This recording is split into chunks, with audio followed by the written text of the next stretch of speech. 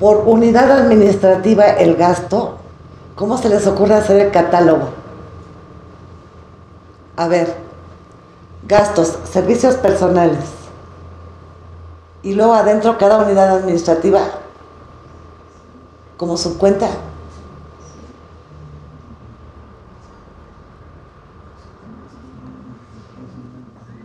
¿Cómo, ¿Cómo será bueno?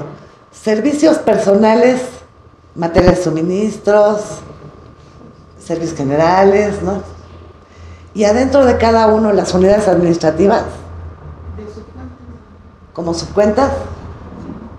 O mejor pondremos la unidad administrativa arriba y cuánto de servicios generales, cuánto de esto, cuánto de... ¿Cómo será mejor? ¿Cómo será mejor? ¿Tú crees que la cuenta de mayor sea la unidad administrativa? No, pues, únicamente vamos a ver una sola unidad. Si queremos ver todas. Qué complicado. Ahora agréguenle la fuente de financiamiento. A ver, de lo que se gastó con gasto etiquetado y lo que fue gasto no etiquetado. Participaciones. A ver, el gasto, participaciones por unidad administrativa y luego por cada cuenta. Y luego aumentele que lo quiero llevar también por programa.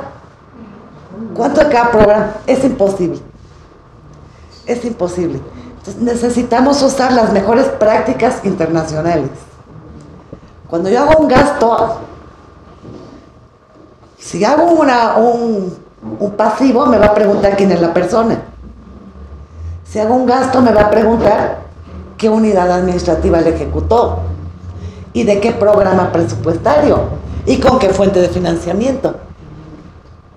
Y entonces me evito el problema de cómo tengo que definir el catálogo, ven. Y tengo la ventaja de que puedo cruzar todo contra todo. Es decir, se vuelve una contabilidad matricial que tiene muchas ventajas. Es imposible llevarlo lineal tipo COI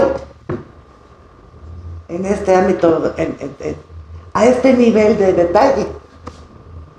Bueno, entonces ya saben por qué el catálogo se ve tan pelón.